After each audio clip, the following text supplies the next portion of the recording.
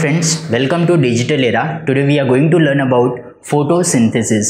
Photosynthesis में हम ये देखेंगे कि कैसे प्लांट्स अपने लिए फ़ूड प्रिपेयर करते हैं। हम ये जानते हैं कि सभी ऑर्गेनिजम्स को ग्रो होने के लिए उनको एनर्जी की रिक्वायरमेंट होती है उनको वर्क करने के लिए एनर्जी चाहिए। वो एनर्जी आती कहाँ से? As we know that when we require energy we ingest food हमें फ़ूड से एनर्जी मिलती है ये हमने ऑलरेडी न्यूट्रिशन में पढ़ा है। ये चैप्टर में हम देखेंगे कि कैसे प्लांट अपना फ़ूड प्रिपेयर करते हैं so that they can derive their energy let us see how a plant prepares food for itself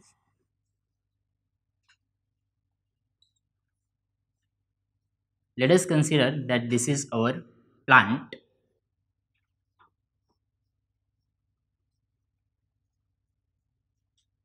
एक प्लांट है अगर इसको ग्रो होना है इसको एनर्जी ऑप्टेन इसको एनर्जी चाहिए ग्रो होने के लिए ये एनर्जी कहाँ से ऑप्टेन करेगा कहाँ से ये कैसे एनर्जी को प्रिपेयर करेगा वो हम देखते हैं। सो so, प्लांट के लिए एनर्जी का जो प्राइमरी सोर्स होता है वो होता है sun so as we know that sun is an inexhaustible source of energy for all the living organisms directly और इनडायरेक्टली सो सन से हमें एनर्जी मिलती है in the form of light light के फॉर्म में जो है सन से एनर्जी जो है इस प्लांट को मिलेगा। प्लांट को फ़ूड प्रिपेयर करने के लिए लाइट एनर्जी के साथ साथ में और क्या चाहिए? So plants require carbon dioxide which they will get from the atmosphere दूसरी चीज़ that plants they need water and water will be present in this soil so plant को जो है सॉइल से वाटर मिल जाता है।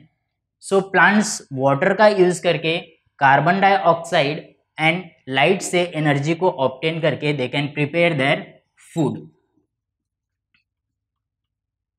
so plants जो होते हैं, अपना फ़ूड कौन से फॉर्म में प्रिपेयर करते हैं? So they prepare their food in the form of carbohydrate that is C six H twelve O six ये ग्लूकोज का मोलिकुलर फॉर्मूला है. So plants they prepare their food in the form of this particular molecule that is the carbohydrate which, which is glucose.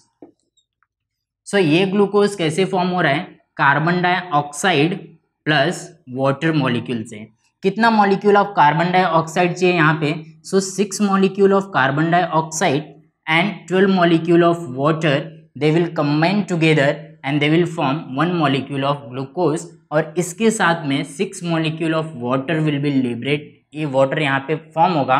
और इसके साथ में by product बनता है that is oxygen ये पूरा प्रोसेस जो ये किसके प्रेजेंस में हो रहा है? सो ये पूरा प्रोसेस लाइट के प्रेजेंस में होगा। और लाइट के साथ साथ में यहाँ पे chlorophyll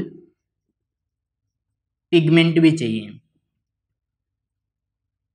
So these are conditions which are required to synthesize food by the plant भाई हमने ये देखा कि कैसे प्लांट्स जो होते हैं वो एनर्जी को प्रिपेयर करते हैं। So they require sunlight they require carbon dioxide and they require water molecule which they will get from the soil so ऐसे ऑर्गेनिज्म जो अपना फ़ूड खुद प्रिपेयर कर सकते हैं ऐसे ऑर्गेनिजम्स को हम बोलते हैं ऑटोट्रॉप्स जो कि अपना फ़ूड खुद से प्रिपेयर करते हैं।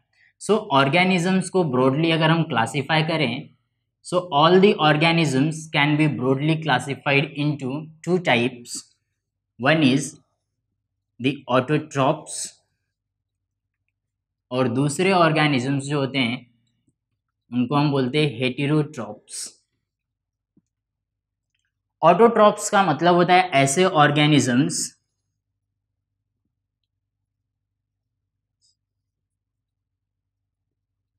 which can prepare their own food. They can prepare their own food. Autotrophic organisms को ब्रॉडली फर्दर क्लासीफाई कर सकते हैं हम into two types one is the photo autotrophs and the second is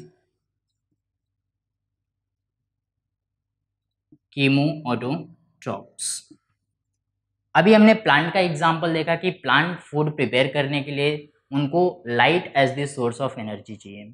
so so, ऐसे सभी organisms जिनको light as the source of energy चाहिए उनको हम फ़ोटो ऑटोट्रॉप्स बोलते हैं। सो फ़ोटो ऑटोट्रॉप का मीनिंग होता है फ़ोटो वर्ड जो है ये वर्ड आया है फोटोन से।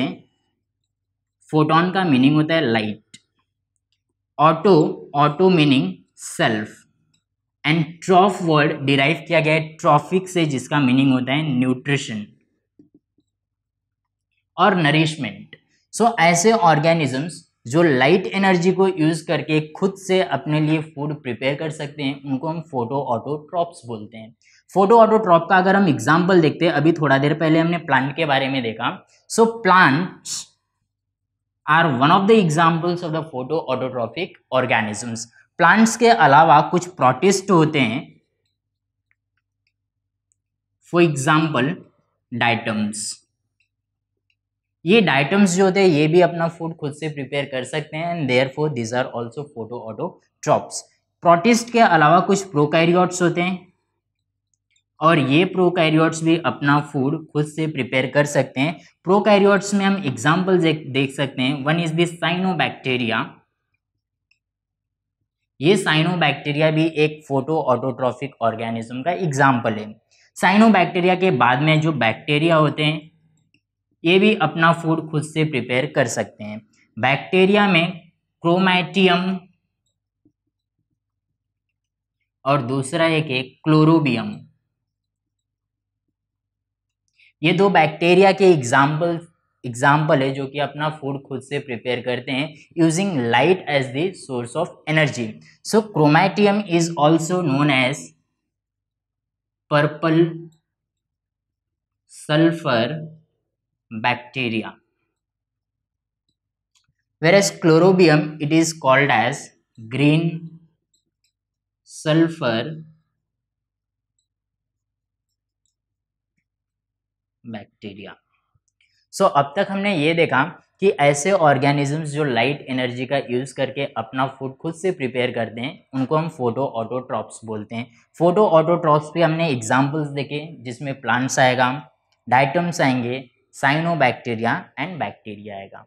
अभी फ़ोटो ऑटोट्रॉप्स के बाद में ऑटोट्रॉप में दूसरा एक टाइप होता है, जिसको हम कीमो ऑटोट्रॉप्स बोलते हैं।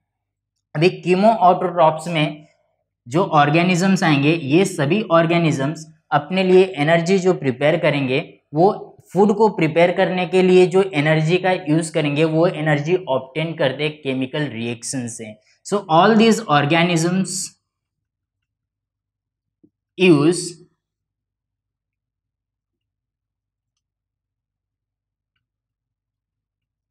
energy derived from the chemical reactions so so, ऐसे सभी ऑर्गेनिजम्स जो फ़ूड प्रिपेयर करने के लिए वो एनर्जी का यूज़ करेंगे जो केमिकल रिएक्शन से डिराइव किया जा रहा है। ऐसे ऑर्गेनिजम्स को हम कीमो ऑटो ट्रॉप्स बोलते हैं। Chemo stand for chemical auto meaning self and trophic meaning they can nourish their them them cells इसके एग्जाम्पल्स हम देख लेते हैं। नाइट्रीफाइंग बैक्टीरिया है कुछ, जिसको हम नाइट्रोकोकस बोलते हैं। This is the nitrifying bacteria nitrococcus एक केमिकल एनर्जी का यूज़ करके अपने लिए फ़ूड प्रिपेयर करती है। नाइट्रोकोकस के बाद में दूसरा एग्ज़ाम्पल है which is called as thiobacillus इसका एक और एग्ज़ाम्पल है, जिसको हम फेरोबैसिलस बोलते हैं। Thiobacillus is also called as sulfur bacteria and ferrobacillus is also called as iron bacteria. So these are the organisms which fall under autotrophic autotrophs which use the autotrophic mode of nutrition nutrition for preparing food. इसके बाद में दूसरा type होता है organism का on the basis of nutrition that is heterotrophs hetero का meaning होता है different and trophic meaning again nourishment so so, ऐसे ऑर्गेनिजम्स जो फ़ूड के लिए दूसरे के ऊपर डिपेंडेंट होते हैं। For example we humans they cannot synthesize their own food हम अपना फ़ूड खुद से प्रिपेयर नहीं कर सकते हैं। So we have to be dependent on plants plants जो है वो अपना फ़ूड प्रिपेयर करते हैं अपने लिए भी और हमारे लिए भी। सो so, ऐसे सभी ऑर्गेनिजम्स जो अपना फ़ूड खुद से प्रिपेयर नहीं कर सकते हैं those organisms are called as heterotrophs examples में Animals example humans these are the heterotrophs so एक ब्रॉड क्लासिफिकेशन हो गया ऑर्गेनिजम्स का on the basis of mode of nutrition that is autotrophic organism and heterotrophic organisms. Now let us learn certain experiments, early experiments which were performed to understand the photosynthesis, the process of photosynthesis. So, let us see certain early experiments.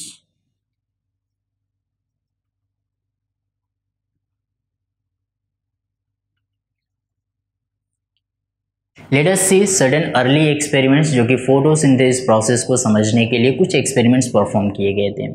हमने इसके पहले जो photosynthesis का reaction देखा था six C O two plus twelve H two O which will give C six H twelve O six six molecule of water and six molecule of oxygen यहाँ पे ये पूरा रिएक्शन जो है लाइट के प्रेजेंस में होगा एंड क्लोरोफिल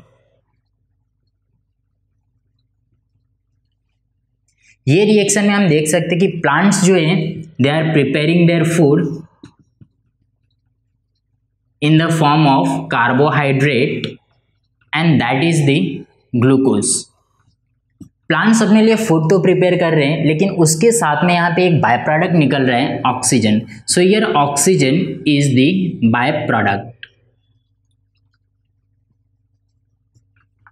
यहाँ पे ये जो ऑक्सीजन है, लोगों को पहले स्टार्टिंग में ऐसे लगता था कि यहाँ पे जो ऑक्सीजन यहाँ पे इवॉल्व हो रहा है this particular oxygen it comes from carbon dioxide लोगों को ऐसे लगता था कि कार्बन डाइऑक्साइड जो ये स्प्लिट होता है into carbon and oxygen so carbon जो है हाइड्रोजन वाटर के साथ में कंबाइन होकर के यहाँ पे ग्लूकोज बना रहा है एंड ऑक्सीजन जो है यहाँ पे रिलीज़ होता है, ऐसे लोगों को स्टार्टिंग में लगता था। लेकिन आगे चल करके एक साइंटिस्ट है सी वैन नील। सी वैन नील ने 1930 में इन्होंने डेमोन्स्ट्रेट किया for the first time that जो फोटोसिंथेसिस का प्रोसेस है this photosynthesis process is dependent on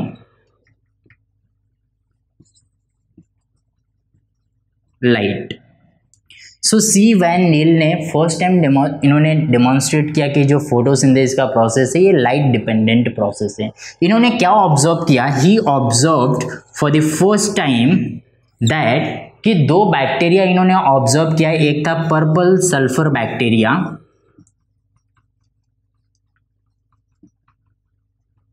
और दूसरा ग्रीन सल्फ़र बैक्टीरिया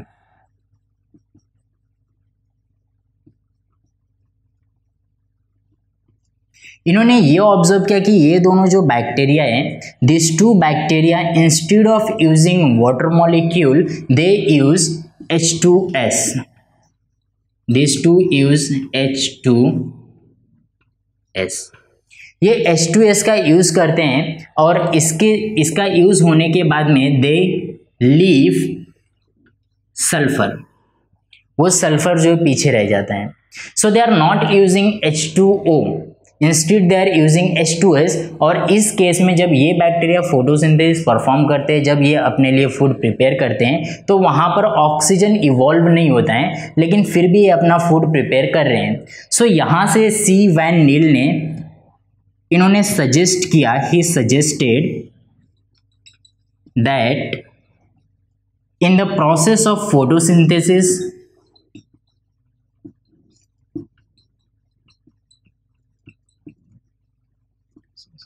जो ऑक्सीजन इवॉल्व हो रहे हैं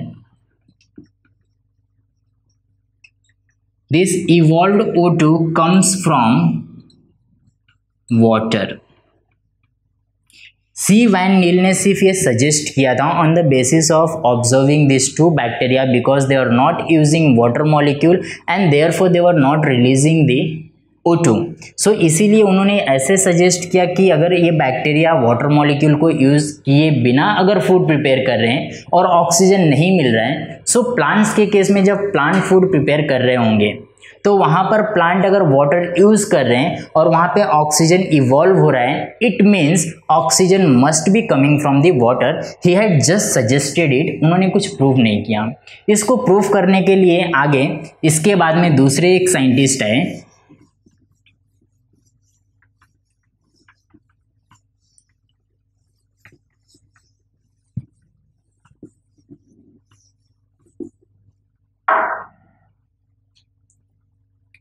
दूसरे साइंटिस्ट है रॉबर्ट हिल। इन 1937 रॉबर्ट हिल ने ये ट्राई, ये प्रूव करने का ट्राई किया कि ऑक्सीजन जो फोटोसिंथेसिस केस में इवॉल्व होता है that comes from water molecule so Robert Hill ने 1937 में एक्सपेरिमेंट परफॉर्म किया आइसोलेटेड क्लोरोप्लाट से। देखते हुए एक्सपेरिमेंट कैसे परफॉर्म किया था इन्होंने। So he took a bowl in which he took isolated chloroplast. So, isolated chloroplast from the spinach leaf. Spinach leave से इन्होंने क्लोरोप्लास्ट को आइसोलेट किया, जिसको वाटर के अंदर इन्होंने सस्पेंड किया ऐसा water which is devoid of carbon dioxide ये वाटर के अंदर कार्बन डाइऑक्साइड नहीं है। इन्होंने इसके अंदर एक और केमिकल ऐड किया which was the ferric salt so ferric salt को ऐड करने के बाद में रॉबर्ट हिल ने इसके ऊपर लाइट को जो है लाइट प्रोवाइड किया. सो लाइट प्रोवाइड करने के बाद में रॉबर्ट हिल ने क्या देखा कि यहाँ पे ऑक्सीजन इवॉल्व हो रहा है. सो so, यहाँ पे फेरिक सॉल्ट जो था it acts as hydrogen acceptor एक हाइड्रोजन एक्सेप्टर की तरह काम करता है। सो so, यहाँ पे जैसे ही लाइट एनर्जी उन्होंने प्रोवाइड किया यहाँ पे फोटोलिसिस हुआ वाटर का। वाटर का स्प्लिटिंग हुआ in the presence of light energy और वाटर स्प्लिट होते ही यहाँ पे कुछ ऑक्सीजन के बबल्स दिखाई दिए उनको। ऑक्सीजन यहाँ पे इवॉल्व हुआ। और ऑक्सीजन इवॉल्व होने के बाद में वाटर स्प्लिट हुआ तो ऑक्सीजन इवॉल्व हुआ। और हाइड्रोजन जब वहाँ से निकला तो हाइड्रोजन को फेरिक सॉल्ट ने एक्सेप्ट किया और ferric salt was converted into ferrous so so, यहाँ पर रॉबर्ट हिल ये प्रूफ कर रहे हैं। रॉबर्ट हिल के ये एक्सपेरिमेंट से ये प्रूफ हो जाता है कि during the process of photosynthesis जो वॉट जो वाटर मॉलिक्यूल है, उसका ब्रेकडाउन हो रहा है और ब्रेकडाउन होने की वजह से जो यहाँ पे ऑक्सीजन का इवोल्यूशन हो रहा है। नेक्स्ट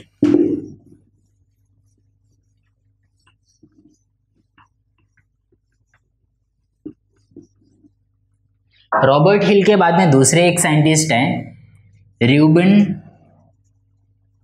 एंड कमेन र्यूबन एंड कमन ने क्या प्रूव किया कि they prove that the water which water is the main source of oxygen water is the only source of oxygen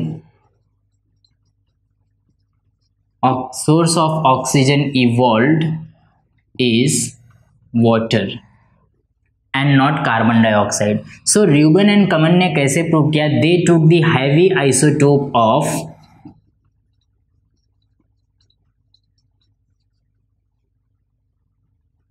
oxygen